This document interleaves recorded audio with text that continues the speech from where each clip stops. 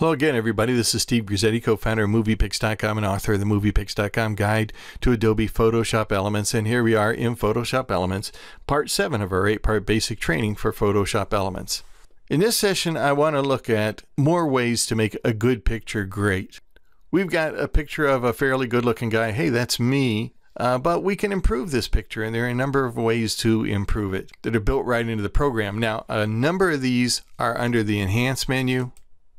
You'll see options here for smoothing skin, open closed eyes, adjusting facial features, but all of those tools are incorporated together in a guided edit. So let's go to the guided edits once again in the top center of the program. And we want to go to special edits. And in the special edit category are a number of guided edits for making a perfect landscape, getting a perfect pet picture, and for making a perfect portrait. So let's select perfect portrait. I'm going to zoom in on the picture a little bit using control plus. And you notice there's a big blue circle around my face. It identified the face right away in the picture. If there's more than one face in the picture, you'll see circles around each individual face and you can work on each face individually. Now our goal here is to make the guy look as good as possible. In some cases, you want to make somebody look even better. So you're working with a model, for instance. You don't care if it doesn't look exactly like him or her, so long as the picture looks terrific. But in this particular case, I just want to make this guy look much better than he looks. um, let's smooth out his skin first. We'll get rid of some of the wrinkles. This is an automatic feature. If I click on smooth skin, it's going to automatically soften the skin a little bit. Looking good. We've gotten rid of some of the wrinkles there in the forehead. We can increase the contrast in the picture. That should make it a little bit sharper. For some reason it shrunk, shrunk my picture down again. Let's control plus or command plus to blow up my picture. We could remove blemishes using the spot healing tool. We can whiten the teeth. If his eyes were closed, there's actually a tool in here for replacing closed eyes with open eyes. And the results can often be very good. Now there's a brighten eyes. If I select that tool, I can paint over the eyes just a little bit, drag across them to make them lighter.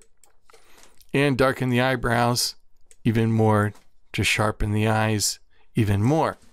There is the option to add a glow effect. I don't like the glow effect. That's a little bit like Vaseline on the lens. I don't think it looks natural, but uh, it's there if you'd like it.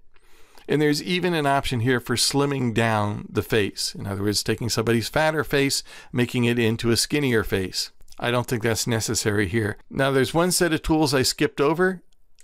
Let's go into facial features. This is an entire toolkit unto itself. Let's click on that.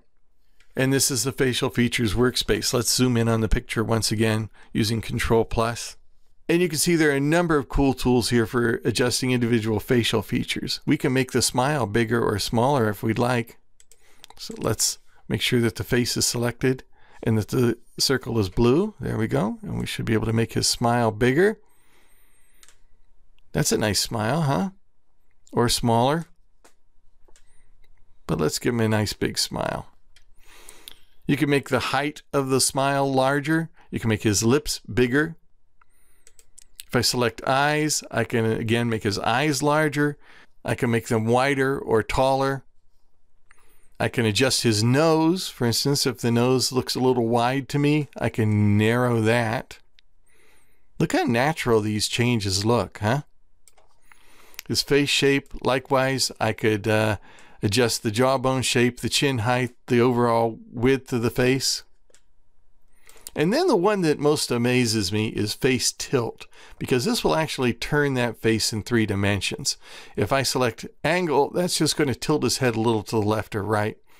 But if I select left or right, look at this, I can actually change the direction he's facing. That to me is amazing. Likewise, I can make him look up and down a little bit. We'll click OK to get out of this workspace and back into our regular workspace. And if you ever want to see the results of your work, all you've got to do is go up to the upper left of the workspace here and switch after only to before and after horizontal.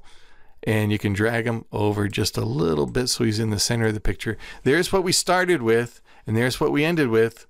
Real nice improvements to the picture. They're fairly subtle, but above all, the results have been very natural also. So adjusting facial features, the perfect portrait guided edit, Terrific tools in the program for making a good picture look great. And isn't that what we all want?